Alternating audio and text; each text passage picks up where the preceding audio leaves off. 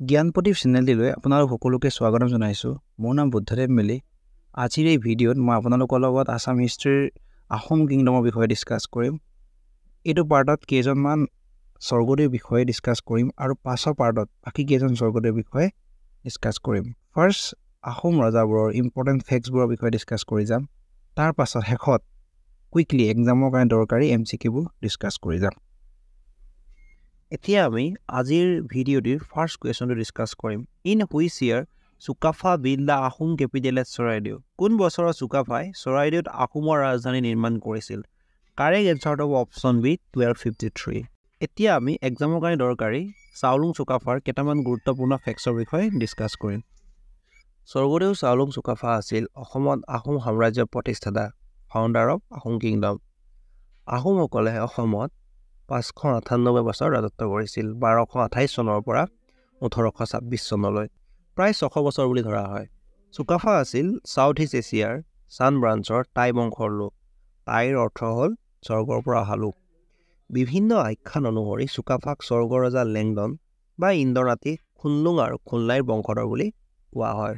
চ' এক্সামত অহা দেখা গৈছে যে খুনলুং আৰু খুনলাই কাৰ গ্ৰেণ্ডছন তাৰ এনচাৰটো হ'ব লেংডন। তাৰ পাছত বাৰশ পোন্ধৰ চনত মুংমা ৰজা পামিওপুঙৰ মৃত্যুৰ পিছত তেওঁৰ পুত্ৰ চুখানপা মুংমাৰ সিংহাসনত বহে আৰু চুকাফাই মনৰ দুখতে আৰু নিজৰ আইতাকৰ উপদেশ আৰু নিৰ্দেশত মুংমা ৰাজ্য ত্যাগ কৰে। চ' এক্সামৰ কাৰণে দৰকাৰী পইণ্টটো হৈছে যে চুকাফাই কোন চনত নিজৰ ৰাজধানী মুংমাও এৰি থৈ গৈছিল? তাৰ এনচাৰটো হ'ব বাৰশ পোন্ধৰ চনত। তাৰ পাছত প্ৰায় তেৰ বছৰ কাল পাটকাইৰ আশে পাশে অনাই বনাই ঘূৰাৰ পাছত চুকাফাই বাৰশ আঠাইছ চনত পাটকাই পৰ্বত বা পাটকাই ৰেঞ্জৰ মাজেৰে নামৰূপত প্ৰৱেশ কৰে। ত' তেখেতে অসমত কোন চনত এণ্ট্ৰি কৰিছিলে? বাৰশ আঠাইছ চনত। আৰু সেই দিনটো আছিল দুই ডিচেম্বৰ। সেইকাৰণে দুই ডিচেম্বৰ দিনটো চুকাফা দিৱস বা অসম দিৱস হিচাপে পালন কৰা হয়। আৰু অসমত ঊনৈছশ ছয়ান্নব্বৈ চনৰ পৰা তেখেতৰ আগমনৰ স্মৃতিত দুই ডিচেম্বৰ দিনটো চুকাফা দিৱস হিচাপে পালন কৰি আহিছে। তাৰ পাছত তেখেতে ৰাজধানী পাতিবৰ বাবে দিহিং টিপাম শোলগুৰি অভয়াপুৰী আদি কেইবাখনো ঠাই নিৰ্বাচন কৰিছিল যদিও বানপানী বা বেলেগ অসুবিধাৰ কাৰণে তাত স্থায়ীভাৱে ৰাজধানী পাতিব নোৱাৰিছিল। শেষত তেওঁ খেতিৰ বাবে উপযোগী আৰু বানপানীৰ পৰা মুক্ত এখন ঠাই বিচাৰি পায় আৰু সেই ঠাইতে বাৰশ তেৱন্ন চনত স্থায়ীকৈ আহোম ৰাজ্যৰ ৰাজধানী পাতিছিল আৰু সেই ঠাইখনৰ নাম হৈছে চৰাইদেউ। চ' আহোমৰ ফাৰ্ষ্ট কেপিটেল কোনটো বুলি ক'লে এইটো হ'ব চৰাইদেউ। আৰু লাষ্ট কেপিটেল হয় যোৰহাট। আৰু চৰাইদেউ হৈছে আহোম ৰাজ্যৰ প্ৰথমখন বানমুক্ত ৰাজধানী বা প্ৰথমখন স্থায়ীভাৱে স্থাপন কৰা ৰাজধানী। চ' এইটো বহুত ইম্পৰ্টেণ্ট চুকাফাই দুটা পোষ্ট ক্ৰিয়েট কৰিছিলে। চ' এটা হৈছে বুঢ়া গোঁসাই আৰু আনটো হৈছে বৰগোঁসাই চ' এইটো বহুত ইম্পৰ্টেণ্ট হয়। ব্ৰহ্মপুত্ৰ উপত্যকা পাওঁতে তেওঁ বুৰঞ্জীকাৰসকলক সকলো ঘটনাৰ লিপিবদ্ধ কৰিবলৈ নিৰ্দেশ দিছিল। আৰু অসমত বুৰঞ্জী লিখাৰ আৰম্ভণি এনেকৈ ঘটিছিল। চ' বুৰঞ্জী অসমত কোনে ফাৰ্ষ্ট ইণ্ট্ৰডিউচ ইণ্ট্ৰডিউচ কৰিছে বুলি যদি সোধা হয় তেতিয়া হ'ব চুকাফা। আৰু যদি কয় যে অসমীয়াত বুৰঞ্জী লিখা প্ৰথা কোনজন ৰজাৰ দিনৰ পৰা চলি আহিছে বুলি ক'লে তাৰ এনচাৰটো হ'ব চুহুংমুং তাৰ পাছত তেখেতক আৰ্কিটেক্ট অফ বৰ আছাম বা বৃহত্তৰ আছাম বুলি জনা যায়। আৰু তেখেতৰ মৃত্যু হৈছিল বাৰশ আঠষষ্ঠি চনত। তেখেতৰ মৃত্যুৰ পাছত তেওঁৰ পুত্ৰ চুটিউফা ৰজা হয়। চ' এক্সামত আজিকালি আহিছে যে আহোমৰ ছেকেণ্ড ৰজা কোন বা চুকাফাৰ পাছত কোনে ৰজা হৈছিলে? চ' তাৰ এনচাৰটো হ'ব চুটিউফা আচলতে বহুত ইম্পৰ্টেণ্ট হয় এক্সামত আহিছে বহুতবাৰ এতিয়া আমি চুকাফাৰ গুৰুত্বপূৰ্ণ ফেক্টছবিলাক কুইকলি চাম। টুৱেল্ভ ফিফটিনত চুকাফাই মুংমাও এৰিছিলে। টুৱেল্ভ টুৱেণ্টি এইটত আফটাৰ থাৰ্টিন ইয়াৰ্ছ চুকাফাই অসমত প্ৰৱেশ কৰিছিলে। এণ্ড টুৱেল্ভ ফিফটি থ্ৰীত চৰাইদেউত আহোমৰ ফাৰ্ষ্ট ৰাজধানী পাতিছিলে। তাৰপাছত টুৱেল্ভ ছিক্সটি এইটত চুকাফাৰ মৃত্যু হৈছিলে। তাৰপৰা চুকাফাই দুটা পোষ্ট ক্ৰিয়েট কৰিছে বুঢ়া গোঁসাই বৰগোঁসাই এইটো ইম্পৰ্টেণ্ট আৰু দুই ডিচেম্বৰত চুকাফা দিৱস হিচাপে পালন কৰা হয়। এতিয়া আহিছোঁ next কুৱেশ্যনলৈ which among the following Ahom king initiated the Singari ghar utha ceremony তলত উল্লেখ কৰা আহোম ৰজাসকলৰ ভিতৰত কোনজন ৰজাই শিঙুৰি ঘৰত উঠা উৎসৱৰ আৰম্ভণি কৰিছিল? কাৰেক্ট এনচাৰটো হ'ব অপশ্যন এ চুডাংফা এতিয়া আমি চুডাংফাৰ বিষয়ে ডিছকাছ কৰিম। তেৰশ সাতান্নব্বৈ চনত আহোম স্বৰ্গদেউ চুডাংফাই আহোম ৰাজ সিংহাসনত উঠে আৰু নিজৰ ৰাজধানী দিহিঙৰ ওচৰৰ চাৰগোৱালৈ স্থানান্তৰিত কৰে। চ' এইটো ইম্পৰ্টেণ্ট হয় যে চুডাংফাৰ দিনত আহোমৰ ৰাজধানী ক'ত আছিল? চাৰগোৱা। এইটো বহুত ইম্পৰ্টেণ্ট চুডাংফা আহোম ৰজা টাই খামতিৰ পুত্ৰ হ'লেও ৰাজপ্ৰাসাদত জন্ম হোৱা নাছিল। তেওঁ হাবুঙৰ এটা ব্ৰাহ্মণৰ পৰিয়ালত জন্ম আৰু ডাঙৰ দীঘল হোৱা বাবে তেওঁক বামুণী কোঁৱৰ নামেৰে জনা যায়। চ' এক্সামৰ কাৰণে বহুত দৰকাৰী পইণ্টটো হ'ল যে বামুণী কোঁৱৰ বুলি কাক জনা যায়? তাৰ এনচাৰটো হ'ল চুডাংফা এইটো বহুত ইম্পৰ্টেণ্ট পাছত আমি সকলোবোৰ ৰজাৰ বিষয়ে ডিটেইলছত ডিছকাছ কৰিম। এতিয়া জাষ্ট এক্সাম অৰিয়েণ্টেড টপিকবোৰহে ডিছকাছ কৰিম। আহোম স্বৰ্গদেউ চুডাংফাই আহোম সাম্ৰাজ্যত প্ৰথমবাৰৰ বাবে শিঙৰি ঘৰত উঠাৰ প্ৰথা প্ৰচলন কৰিছিল। শিঙৰি ঘৰ হ'ল আহোম ৰজাৰ ৰাজ অভিষেক পাতিবলৈ। শিঙৰি গছৰ কাঠেৰে বিশেষভাৱে সজা এটি ঘৰ। কিন্তু আৰ্থিক সমস্যাৰ বাবে কমলেশ্বৰ সিংহ আৰু চন্দ্ৰকান্ত সিংহৰ দিনত এই পৰম্পৰা পালন কৰিব পৰা নাছিল। তেওঁৰ ৰাজত্বকালতে আহোম দৰবাৰত হিন্দু ধৰ্মৰ প্ৰথম আনুষ্ঠানিক প্ৰৱেশ ঘটিছিল। তেওঁৰ দিনতেই আহোম আৰু তিপামৰ মাজত যুদ্ধ হৈছিল। ফাৰ্ষ্ট আহোম আৰু তিপামৰ ৱাৰ হৈছিলে তেওঁৰ দিনতেই। আৰু পাছত দুয়োটা দলে ফিউচাৰত যুদ্ধ নকৰোঁ বুলি শপত খাইছিল। এতিয়া আহিছোঁ next কুৱেশ্যনলৈ which Ahom king conducted the first organize population census in Assam তলৰ কোনজন আহোম ৰজাই প্ৰথম সংগঠিত জনগণনা কৰিছিল? কাৰেক্ট এনচাৰটো হ'ব অপশ্যন চুহুংমুং এতিয়া আমি এক্সামৰ কাৰণে দৰকাৰী চুহুংমুঙৰ গুৰুত্বপূৰ্ণ ফেক্টসমূহৰ বিষয়ে ডিছকাছ কৰিম। দিহিং নদীৰ পাৰৰ বকতালৈ ৰাজধানী স্থানান্তৰিত কৰাৰ বাবে চুহুংমুঙক দিহিঙীয়া ৰজা নামেৰেও জনা যায়। এইটো বহুত ইম্পৰ্টেণ্ট হয় যে দিহিঙীয়া ৰজা বুলি কাক জনা যায়? তাৰ এনচাৰটো হ'ল চুহুংমুং। চুহুংমুঙক সাম্ৰাজ্যবাদী নীতিৰ বাবে অসমৰ নেপোলিয়ন বা নেপোলিয়ন অফ আছাম বুলি জনা যায় আৰু লগতে মনত ৰাখিব লাগিব যে নেপোলিয়ন অফ ইণ্ডিয়া বুলি কাক জনা যায়? তাৰ এনচাৰটো হ'ব সমুদ্ৰগুপ্ত। লগতে চুহুংমুং হৈছে প্ৰথম আহোম ৰজা যিজনে হিন্দু উপাধি স্বৰ্গনাৰায়ণ গ্ৰহণ কৰিছিল। তেওঁৰ দিনৰে পৰা আহোম ৰজাসকলক স্বৰ্গদেউ বুলি কোৱা হৈছিল। চ' এইটো বহুত ইম্পৰ্টেণ্ট হয়। এক্সামৰ কাৰণে বহুত দৰকাৰী হয়। চুহুংমুঙৰ দিনৰে পৰা হিন্দুৰ শকাব্দ মতে বছৰ গণনা কৰা নিয়ম আৰম্ভ হৈছিল। চ' আমি মনত ৰাখিব লাগিব যে চাকা এৰা এডপ্টেড কৰিছিল চুহুংমুঙে এইজনে ৰজাৰ দিনতেই ফাৰ্ষ্ট চেঞ্চাছ প্ৰথম লোকপিয়ল মানে জনসংখ্যা নিৰ্ধাৰণ আঁচনি গ্ৰহণ কৰা হৈছিল। চুহুংমুঙৰ দিনত অসমীয়া ভাষাত প্ৰথম বুৰঞ্জী লিখা হৈছিল। এই বুৰঞ্জী পুথিখনৰ নাম হৈছে শ্ৰী শ্ৰী স্বৰ্গনাৰায়ণ মহাৰাজৰ জন্মকথা। এই পুথিখনত আহোমৰ সৈতে দেৱতাৰ সম্পৰ্কৰ কথা কোৱা হৈছে। চ' এক্সামত আহিব পাৰে যে বুৰঞ্জী কোনজন আহোম ৰজাৰ দিনৰ পৰা লিখা হৈছিল? এতিয়া এনচাৰটো হ'ব চুকাফা। বাট যদি আহে যে অসমীয়া ভাষাত বুৰঞ্জী কোনজন দিনৰ পৰা লিখা হৈছিলে তেতিয়া এনচাৰটো হ'ব চুহুংমুং। চুহুংমুঙৰ দিনতেই পোন্ধৰশ তেইছ চনত চুতীয়াসকলৰ সৈতে আহোমৰ কনফ্লিক্ট হৈছিল। পিছত চুতীয়াসকলৰ লাষ্ট ৰজা নীতিপালক পৰাস্ত কৰি সমগ্ৰ চুতীয়া ৰাজ্য আহোমৰ অধীনত কৰে আৰু এই অঞ্চলৰ প্ৰশাসন ব্যৱস্থা চোৱা চিতা কৰিবৰ বাবে চদিয়াখোৱা গোসাঁই নামৰ নতুন পদবীৰ সৃষ্টি কৰে। আৰু ফাৰ্ষ্ট চদিয়াখোৱা গোসাঁই হ'ল ফানচিংমুং চ' বহুত ইম্পৰ্টেণ্ট এক্সামৰ কাৰণে বহুত দৰকাৰী হয়। লগতে মনত ৰাখিব লাগিব যে প্ৰথম চুতীয়া ৰজা হৈছে বীৰপাল আৰু লাষ্ট চুতীয়া কিং হৈছে নীতিপাল। আৰু নীতিপালৰ ৱাইফৰ নাম হৈছে সতী সাধনী। চুতীয়া ৰজা আহোমৰ হাতত পৰাৰ পিছত আত্মসমৰ্পণতকৈ মৃত্যুক বেছি পচন্দ কৰা নীতিপালৰ ৰাণী স্বাধীনীয়ে চন্দ্ৰগিৰি পাহাৰৰ ওপৰৰ পৰা পৰি আত্মহত্যা কৰে। আৰু এটা কথা মনত ৰাখিব লাগিব যে চুতীয়াসকলৰ লগত যুদ্ধত জয়ী হৈ চুহুংমুঙে ৰিক্ষাবন উৎসৱ পালন কৰিছিল চ' বহুত দৰকাৰী হয়। আৰু এই উৎসৱ পালন কৰিছিল ৰাজ্যৰ দীৰ্ঘায়ুৰ বাবে। আমাৰ এক্সামত অহা দেখা গৈছে যে ৰিক্ষাবন উৎসৱ কোনে পালন কৰিছিল? সেইটো পালন তাৰ এনচাৰ হ'ল চুহুমুং আৰু কাৰ লগত যুদ্ধত জয়ী হৈ পালন কৰিছিল? সেইটো চুতীয়াসকলৰ লগত। চুহুমুঙৰ দিনত ফায়াৰ আৰ্ম ফাৰ্ষ্ট টাইমৰ কাৰণে ইউজ কৰিছিলে। কিন্তু এটা কথা মনত ৰাখিব লাগিব যে চুতীয়া ৰজাসকলে আহোমৰ আহোম ৰজাসকলতকৈ আগত ফায়াৰ আৰ্মছৰ ব্যৱহাৰ কৰিছিল। পোন্ধৰশ সাতাইছ চনত বংগৰ মুছলমানসকলে পোন প্ৰথমবাৰৰ বাবে আহোম ৰাজ্য আক্ৰমণ কৰিছিল। চ' এক্সামত আহে যে কোনজন ৰজাৰ দিনত মুছলমানসকলে আহোম ৰাজ্য আক্ৰমণ কৰিছিল। তাৰ এনচাৰ হ'ব চুহুংমুং। চুহুংমুঙৰ দিনতে মুছলমানসকলে তিনিবাৰ আহোম ৰাজ্য আক্ৰমণ কৰিছিল। থাৰ্ড আক্ৰমণৰ সেনাপতি আছিল তুৰ্বক পোন্ধৰশ বত্ৰিছ চনত তুৰ্বক খানে অসম আক্ৰমণ কৰিছিল বা আহোম আক্ৰমণ কৰিছিল। এই যুদ্ধত আহোম বিজয়ী হৈছিল কিন্তু ফ্ৰাংচেংমুংকে ধৰি আঠজন আহোম সেনাপতিৰ মৃত্যু হৈছিল। ফ্ৰাংচেংমুঙৰ মৃত্যুৰ কথা শুনি তেওঁৰ পত্নী মূলা গাভৰুৱে নিজে আন পাঁচগৰাকী মহিলাৰ সৈতে যুদ্ধক্ষেত্ৰলৈ আগবাঢ়ি যায় আৰু তুৰ্বাকৰ সৈতে যুঁজি মৃত্যুবৰণ কৰে। পাছত কনচেং বৰপাত্ৰ গোসাঁইৰ হাতত তুৰ্বকৰ মৃত্যু ঘটে।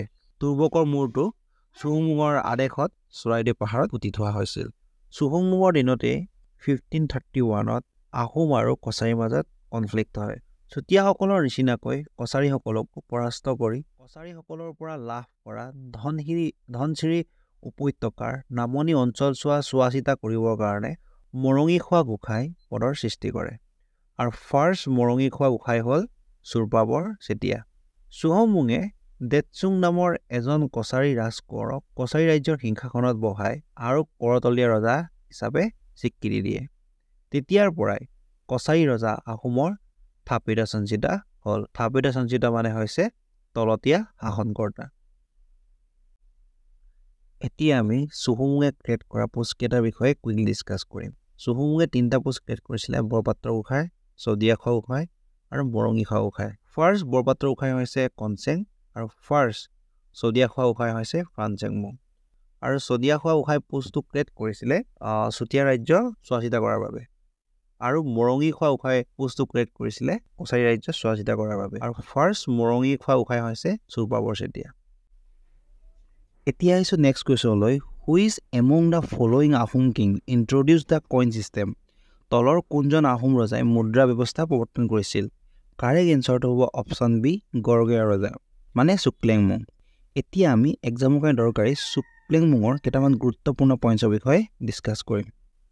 পোন্ধৰশ ঊনচল্লিছ চনত চুকলেংমুং আহোম ৰাজসিংহাসনত বহে। ৰজা হৈ চুকলেংমুঙে বকতাৰ পৰা আহোম ৰাজধানী গড়গাঁৱলৈ তুলি আনে। সেইকাৰণে চুকলেংমুঙক গড়গঞা ৰজা বুলি কোৱা হয়।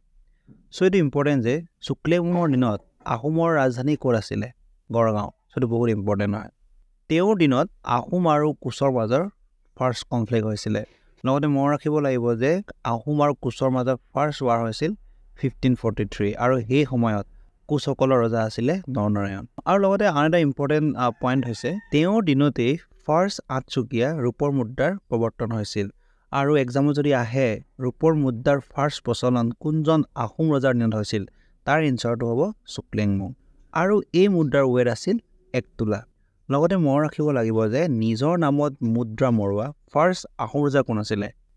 সেইজন হৈছে চুকলেংমুং চুকলেংমুঙে শংকৰদেৱৰ জোৱাই হৰিভূঞাক ফাঁচি দিয়াৰ নিৰ্দেশ দিছিল। চ' এইটো ইম্পৰ্টেণ্ট হয়। চ' এক্সামত এনেকৈ আহিব পাৰে যে কোনজন ৰজাই শংকৰদেৱৰ জোৱাইক ফাঁচি দিয়াৰ নিৰ্দেশ দিছিলে? তাৰ এনচাৰ হ'ব চুকলেংমুং লগতে এইজনা স্বৰ্গদেৱে গড়গাঁও পুখুৰী খন্দাই আৰু নগালি বন্ধুৱাই বহুত ইম্পৰ্টেণ্ট তাৰপাছত পোন্ধৰশ বাৱন্ন চনত তেওঁৰ মৃত্যু হয়। এতিয়া আহিছোঁ next কুৱেশ্যনলৈ the treaty of Majuli fifteen sixty three was sign during the reign of which Ahom ruler মাজুলীৰ সন্ধি কোন আহোম ৰজাৰ ৰাজত্বকালত স্বাক্ষৰিত হৈছিল? কাৰেক্ট এনচাৰটো হ'ব অপশ্যন ডি চুকাম্ফা এতিয়া আমি চুকাম্ফাৰ বিষয়ে ডিছকাছ কৰিম। চুকলেংমুঙৰ মৃত্যুৰ পাছত পোন্ধৰশ বাৱন্ন চনত তেওঁৰ পুত্ৰ চুকাম্ফা আহোম ৰাজ সিংহাসনত বহে। চুকাম্ফা হৈছে আটাইতকৈ দীৰ্ঘদিন ৰাজত্ব কৰা আহোম ৰজা। তেওঁ প্ৰায় একাৱন্ন বছৰ ৰাজত্ব কৰিছিল। তেওঁক খুৰা ৰজা বুলিও জনা যায়। চ' এক্সামত অহা দেখা গৈছে যে খুৰা ৰজা বুলি কাক জনা যায়? তাৰ এনচাৰ হ'ল চুকাম্ফা তেওঁ সিংহাসনত বহাৰ আগতে হাতী চিকাৰ কৰি থাকোঁতে এখন ভৰিত আঘাত পাইছিল আৰু তেওঁ খুৰা হৈ গৈছিল এখন ভৰিত। সেয়ে তেওঁক খুৰা ৰজা বোলা হৈছিল। এইজনা স্বৰ্গদেউৰ দিনতেই আহোম আৰু কোচৰ পুনৰ সংঘৰ্ষ হয়। আকৌ আহোম আৰু কোচৰ মাজত কনফ্লিক্ট হয়।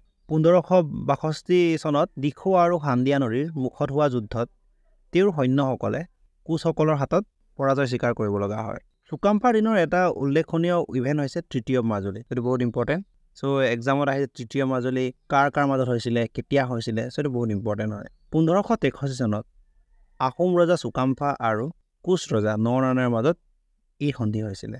এই সন্ধি অনুসৰি ব্ৰহ্মপুত্ৰৰ উত্তৰ পাৰে সোৱণশ্ৰী নদীৰ পশ্চিমে থকা ঠাইখিনি কোচৰ হাতলৈ যায়।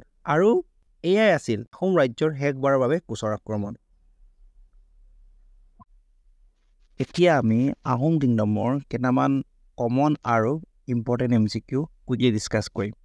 Dimapur the capital of Kachari kingdom was occupied by the Ahom king Kachari ৰাজ্যৰ ৰাজধানী ডিমাপুৰ কোনজন আহোম ৰজাই দখল কৰিছিল? কাৰেক্ট এনচাৰটো হ'ব option C চৌমৌ who was the king of Morans when Sukaphaa came to Assam Sukaphaa অসমলৈ অহাৰ সময়ত মৰাণৰ ৰজা কোন আছিল? কাৰেক্ট এনচাৰটো অপশ্যন চি বাদুচা তাৰপাছত which of the following Ahom king rule for the longest period in the Ahom kingdom তলৰ কোনজন আহোম ৰজাই আহোম ৰাজ্যত আটাইতকৈ বেছি সময় ৰাজত্ব কৰিছিল? কাৰেক্ট এনচাৰটো হ'ব অপশ্যন চি চুকাম্ফা তাৰপাছত which of the following ruler started the offices of Burhagohain and Borgohain তলৰ কোনজন ৰুলাৰে বুঢ়াগোসাঁই আৰু বৰগোসাঁইৰ পদ সৃষ্টি কৰিছিল? কাৰেক্ট এনচাৰটো হ'ব option B Sukapha. Which among the following Ahom king was the first to adopt the Swargadeo title তলৰ কোনজন আহোম ৰজাই প্ৰথমে স্বৰ্গদেউ উপাধি গ্ৰহণ কৰিছিল? কাৰেক্ট এনচাৰটো হ'ব অপশ্যন এ দিহিঙীয়া ৰজা মানে চুহুংমুং। তাৰপাছত which of the following is the literal meaning of the word Buranji? Buranji শব্দটোৰ লিটাৰেল মিনিং কি হয়? কাৰেক্ট এনচাৰটো হ'ব অপশ্যন এ এই store that this is the ignorant so' Tai লেংগুৱেজত বু মানে হৈছে ইংলেণ্ড পাৰ্চন ৰন মানে হৈছে টিচ আৰু জি মানে হৈছে ষ্ট'ৰ চ' কাৰেক্ট এনচাৰটো হ'ব option A in which war Mula Gabharu died fighting against Turbak Khan কোনখন যুদ্ধত তুৰ্বাক খানৰ বিৰুদ্ধে যুঁজি মূলা গাভৰুৰ মৃত্যু হৈছিল? মুছলমানসকলে চহুমুঙৰ ৰাজত্বকালত মুছলমানসকলে তিনিবাৰ আহোম আক্ৰমণ কৰিছিলে। তাৰে তিনি নম্বৰ এটেকত মূলা গাভৰুৰ মৃত্যু হৈছিলে। চ' কাৰেক্ট এনচাৰটো হ'ব option A in the third attack of Muslim Tungkhungia Buranji is written বাই তুংখুঙীয়া বুৰঞ্জী কোনে ৰচনা কৰিছিল? কাৰেক্ট এনচাৰটো হ'ব অপশ্যন বি শ্ৰীনাথ দুৱাৰা বৰবৰুৱা। তাৰপাছত which site in Assam is the traditional burial site of the Ahom kings অসমৰ কোনটো স্থানত আহোম ৰজাৰ পৰম্পৰাগত সমাধিস্থল? কাৰেক্ট এনচাৰটো হ'ব অপশ্যন চি চৰাইদেউ। তাৰপাছত পূৰ্বাগ invaded Assam during the reign of which of the following Ahom ruler তলৰ কোনজন আহোম শাসকৰ ৰাজত্বকালত তুৰ্বাকে অসম আক্ৰমণ কৰিছিল? কাৰেক্ট এনচাৰটো হ'ব অপশ্যন চুহুংমৌ তাৰপাছত major part of the Kachari kingdom was occupied by the Ahom during the reign of which of the following kings কোন ৰজাৰ ৰাজত্বকালত কছাৰী ৰাজ্যৰ মেজৰ পাৰ্ট আহোমসকলে দখল কৰিছিল? কাৰেক্ট এনচাৰটো হ'ব অপশ্যন ডি চুহুংমৌ তাৰপাছত the ancient city Bengmara is presently known as প্ৰাচীন চহৰ বেংমৰা। বৰ্তমান কি নামেৰে জনা যায়? কাৰেক্ট এনচাৰটো হ'ব option D Tinsukia. The ancient name of Cachar was কাছাৰৰ প্ৰাচীন নাম কি আছিল? কাৰেক্ট এনচাৰটো হ'ব অপশ্যন বি ফিৰিম্বা। চদিয়া খোৱা গোসাঁই ৱাজ কাৰেক্ট এনচাৰটো হ'ব option A frontier officer the Marangi Khowa Gohain was the governor of correct এনচাৰটো হ'ব অপশ্যন চি মৰঙী প্ৰভিন্স তাৰপাছত which Ahom kings was popularly known as Parbatia Raja Parbatia ৰজা বুলি কোনজন আহোম ৰজা জনা যায়? কাৰেক্ট এনচাৰটো হ'ব অপশ্যন এ সুদৈফা তাৰপাছত the shape of the Ahom coin was Ahom কইনৰ shape কেনেকুৱা আছিলে? কাৰেক্ট এনচাৰটো হ'ব অপশ্যন এ অক্টাগন এইটো বহুত ইম্পৰ্টেণ্ট হয়। এক্সামত বহুত বাৰ দেখা গৈছে।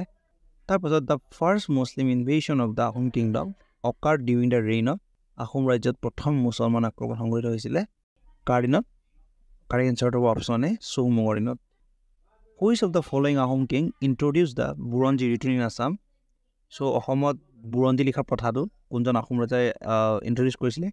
কাৰেক্ট এনচাৰটো হ'ব option C Sukapha the Subansiri was fix as the boundary between the Ahom and Koch kingdom by Ahom আৰু কোচ ৰাজ্যৰ সীমা হিচাপে সোৱণশিৰি নিৰ্ধাৰিত কৰিছিলে।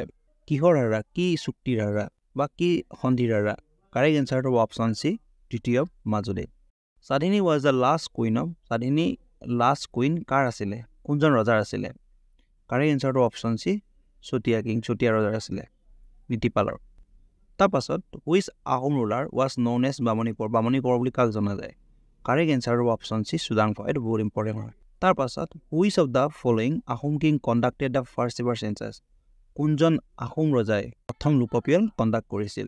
কাৰেক্ট এনচাৰটো অপশ্যন চি চৌহমং তাৰপাছত the Ahom king known as Khura Raja was কোনজন আহোম ৰজাক খোৱা ৰজা বুলি জনা যায় কাৰেক্ট এনচাৰটো অপশ্যন এ চুকাম্ফা তাৰপাছত who among the following was the last ruler of the Chutia kingdom Chutia ৰাজ্যৰ লাষ্ট ৰুলাৰজনৰ নাম কি কাৰেক্ট এনচাৰটো হ'ব নীতিপাল অপশ্যন এ নীতিপাল আৰু ফাৰ্ষ্ট বুলি ক'লে Birpal Tipamia rebellion took place during the reign of Tipamia rebellion কোনজন আহোম ৰজাৰ দিনত হৈছিলে correct এনচাৰটো option B Sudangphaa the Ahom ruler was first to turn the Kachari kings as Thapita and Sanchita was so' correct এনচাৰটো হ'ব চুহুংমু তাৰ থাপিতা আৰু সঞ্চিতা মানে হৈছে কৰতলীয়া ৰজা। তাৰপাছত আজিৰ ভিডিঅ'টোৰ লাষ্ট এম চি কে আমি ডিছকাছ কৰিছোঁ। According to Ahom legend Khunlai and Khunlung were the grandsons of Ahom কিংবদমী মতে খুনলাই আৰু খুনলং কাৰ গ্ৰেণ্ডছন কাৰেক্ট এনচাৰটো হ'ব অপশ্যন চি লেংডন মানে ইন্দ্ৰৰ।